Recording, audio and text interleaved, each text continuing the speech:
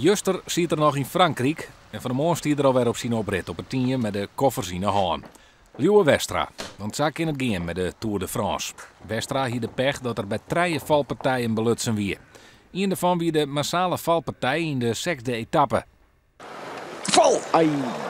Ai, en Daar ligt Westra, links. Westra gaat één keer het onderuit en rekt het verwoenen aan zijn heup. De hutfietsers van Vacansolei jouwt in de eerste standje net op, maar juster onder de halfde etappe komt dan het pijnlijke besluit.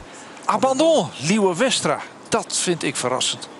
gewoon geen kracht zetten. En dan eh, ja, op dit niveau dan wordt het gewoon een heel lastig verhaal. Dus eh, ja, ik ga er wel in tros zetten tot, tot, tot de helft dat denk ik. Maar eh, ja, ik, ik, ik wou gewoon tros sprinters voorbij rijden op een call. En eh, ja, dat is natuurlijk net een goed teken. En eh, ja, toen ga ik gewoon uh, Jim zelf zijn van ja, dit, dit zit net op. En eh, ja, dat is gewoon een einde verhaal.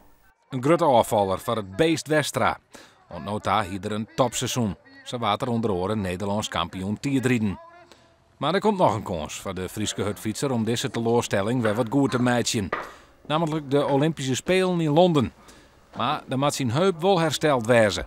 Ja, ik, ik ben op zich eh, helemaal fit en, en gezond. Ik ben meestal niet zijn van ja, hij is vermoeid of dit of dat, maar dat is totaal net zo. Dus eh, bij deze.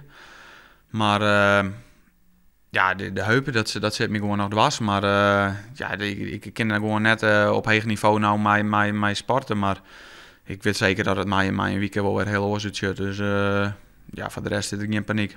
Van Bouke Mollema van Ljout eindigt de Tour ook viersten te betiert. Ik hij wie belutsen bij de valpartij in de zesde etappe en moest juster concluderen dat er te slim verwoenerrek is. Dit lichaam wil gewoon niet meer. Ik heb eh, vorige week hard gevallen en ja, ik heb zoveel schaafwonden daarvan eh, op mijn hele lichaam.